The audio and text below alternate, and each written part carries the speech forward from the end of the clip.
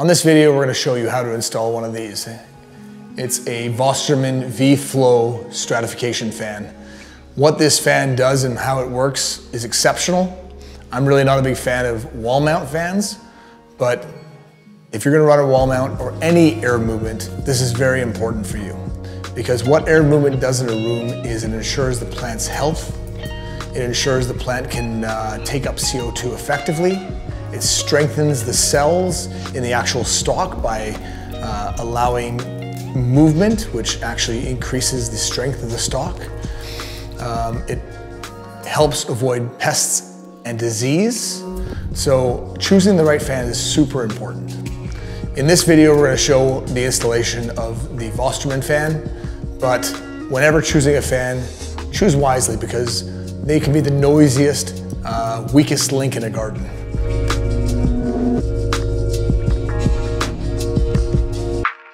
In this space, we've actually decided to have the dehumidifiers go through the air conditioner. The air conditioner then shoots the air across the room, the cold air across the room. It then gets caught in this vortex that this Vosterman fan creates. And we're gonna have fresh air conditioned air being blown throughout the whole canopy of the plants. So this is gonna give us the most control. We've thought of a great plan on how to effectively create the perfect room. I'm really not a big fan of oscillating fans, wall mount fans. They're, they're kind of the Achilles heel of a garden. They tend to break, they're noisy, they rattle a lot, they can be fire hazards. I'm just not a big fan of them.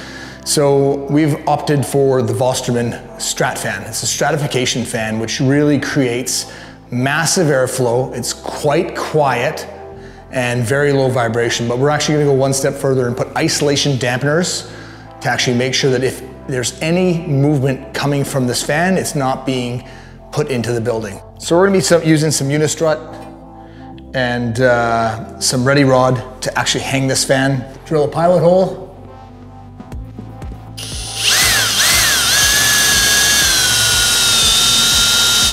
Take your washer,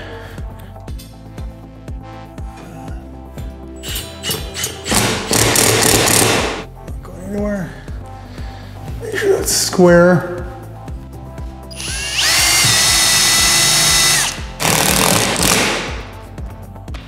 It's not going anywhere. That will hold up a truck. Once we find center, we also need to put in the Unistrut clips, which are these animals right here. They're gonna be simple to use.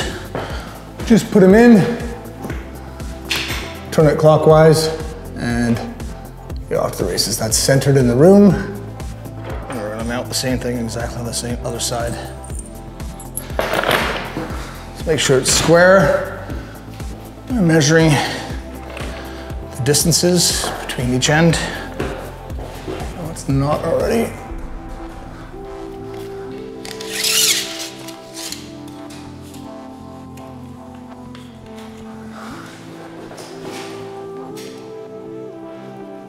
Pretty close to square. Then drill two more pilot holes. Self-explanatory, make sure you're going into studs. Make sure you're not going into any electrical underneath. That is not going anywhere. So next we put the unit Unistrut clamps on. Super simple. Just basically turn a quarter inch that way to the right. Locks in place inside the Unistrut. And now we're gonna mount the actual fan, but first we put the isolation dampeners down. We need to cut some ready rod. So I know we need approximately six inches of ready rod, six, seven inches. So we're gonna measure that, cut it to install the dampeners. Obviously of paramount importance when you're doing any grinding, make sure you're wearing safety glasses.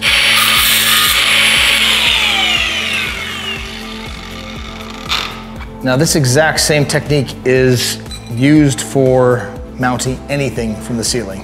In each one of these, there's threads that are gonna lock the Unistrut in. Now it's a bit of a process, obviously, putting this on, but once it's up there, this thing is going nowhere. The funny thing about gardens is everything takes twice as long and costs three times as much to set up a true garden. Everybody thinks that uh, cannabis cultivators have it easy. This is a lot of work.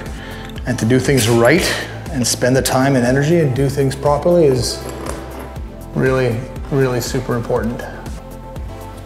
Snug that up. Make sure you're all the way in with all the threads and then lock it onto itself. That's on there super strong. Same thing on this side. Now the nice thing about this is you also can raise and lower the fan if you wanted to by increasing the length of these.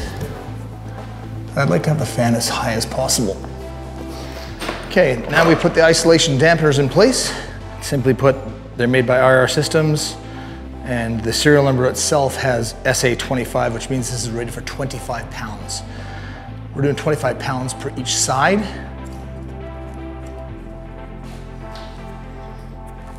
Okay. Always handy to have a couple extra hands handy. When it comes to doing these things, you always use a strap if you don't have some buddies to help you. So that's that. You let go.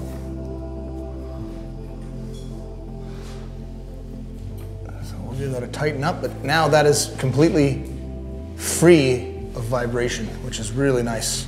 So let's throw a level on that. That's about perfect. Let's plug it in. The little LCD thing should turn on. There we go.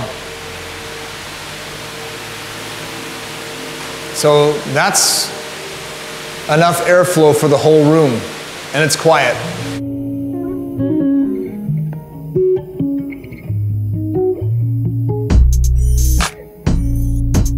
Transpiration, plants are throwing off a lot of moisture. They're sucking up water and nutrients through the ground and they're transpiring it into the air. This is what creates humidity in a garden. If we don't have good air movement, that water ends up sitting between the leaves. Anytime there's water and moisture that's stagnant in any space, you end up with anaerobic bacteria. The best way to control pests and disease is having the correct environment to ensure that pests and disease don't have the right space to multiply. There's no such thing as too much air movement except for when you have oscillating fans blowing and you'll actually get wind burn and it'll get a lot of damage on the leaves. That's not acceptable. I don't like uh, environments where wind is fierce. This is not supposed to be a tornado. This is supposed to be nice, even flow.